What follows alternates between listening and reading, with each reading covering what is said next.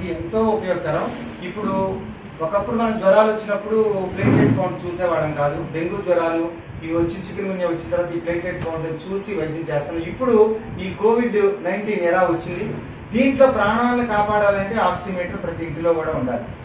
ప్రాణాన్ని కాపాడాలి అంటే జలుబు దగ్గులు వస్తాయి జ్వరాలు వస్తాయి. కానీ ఇదివరకు వచ్చే జలుబు దగ్గులు జ్వరాలని మనం సాధారణంగా ఆవిరి పట్టుకోవడం లేకపోతే ఏదైనా యాంటీబయాటిక్స్ మందులు వాడుకుంటే తగ్గిపోయేది కానీ ఇప్పుడు వచ్చిన ఈ కరోనా కొత్త వైరస్. ప్రాణాలని ఊపిరితిత్తుల్ని పూర్తిగా ఆక్సిజన్ అందకుండా చేసేస్తాయి. దానికి ఒక చిన్న సాధనం ద్వారా కనిపెట్టచ్చు. ప్లస్ దాంతో పాటు లక్షణాలను కూడా గుర్తించండి. అతనికి జగ్గు జరుగుందా కూర్చున్నప్పుడు ఆయన ఆయాసపడుతున్నాడో గమనించండి. తొంభై నాలుగు శాతంకి ఎప్పుడైతే చేరుకుంటాడో అప్పుడు వెంటనే అతన్ని మాకు తెలియజేసే అధికారులకి దగ్గరలో ఉన్నటువంటి రిమ్స్ హాస్పిటల్కి ఆక్సిజన్ దొరికేటువంటి ప్రదేశానికి పంపగలిగిన లేదు వాళ్ళు భరాయించగలిగినట్లయితే ప్రైవేట్ హాస్పిటల్కి పంప ఆ దశలో కనుక పంపగలిగితే ప్రాణాలను కాపాడొచ్చు. అంటే చిన్న సాధనం. కేవలం ఈ సాధనాన్ని మనకి మనకి మన గోపి మాస్టర్ గారు వారి బాబు వంశీకృష్ణ గారు ఎంతో ఆదరణ ఇచ్చారు.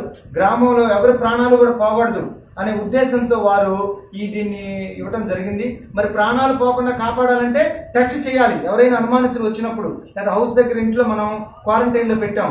వారికి తప్పనిసరిగా మీరు వెళ్ళి పరీక్ష చేయండి. అరవై ఏళ్ళు నలభై ఏళ్ళు బీపీ షుగర్ ఉన్న వాళ్ళు కొంచెం లావుపాటి మనుషులు వీళ్ళందరికీ కూడా ఎస్పీ ఒకటి చెక్ చేసుకొని అర్ధరాత్రి పడి పంపకుండా సకాలంలో కనుక పగలు కనుక పంపగలిగితే ఆక్సిజన్ పెట్టకపోతే బతుకుతారు. డెబ్బై శాతానికో నలభై శాతానికో ముప్పై శాతానికి పడిపోయిన తర్వాత పంపితే ఆ కేసు చనిపోవచ్చు. లేని పక్షంలో మళ్ళీ జీవితాంతం కూడా ఆక్సిజన్ పెట్టాల్సిన పరిస్థితి రావచ్చు ఆ శరీరానికి. అదే తొంభై నాలుగు మీద కనుక మీరు పంపగలిగితే తొంభై నాలుగు మీద కనుక మీరు సమ్ ఆ కేసుని మనం సకాలం హాస్పిటల్కి చేర్చగలిగితే ఎక్కడైనా కావచ్చు అది రిమ్స్ హాస్పిటల్ కావచ్చు కోవిడ్ కేర్ సెంటర్ కావచ్చు లేకపోతే మన ప్రైవేట్ హాస్పిటల్ కావచ్చు ఎక్కడ పంపించగలిగినా ఆ కేసు బతుకుతుంది. సకాలంలో పంప అందుకే ఈ మిషన్లు మీకు. తొంభై నాలుగుకి చేరుకున్నప్పుడు వెంటనే తొంభై నాలుగు తొంభై మూడు తగ్గుతుంది అనుకున్నప్పుడు వెంటనే వారిని తప్పనిసరిగా రిమ్స్కి తరలించాలని చెప్పి రాసంగులపాడు వైద్యాధికారి డాక్టర్ కె శశికళ గారు.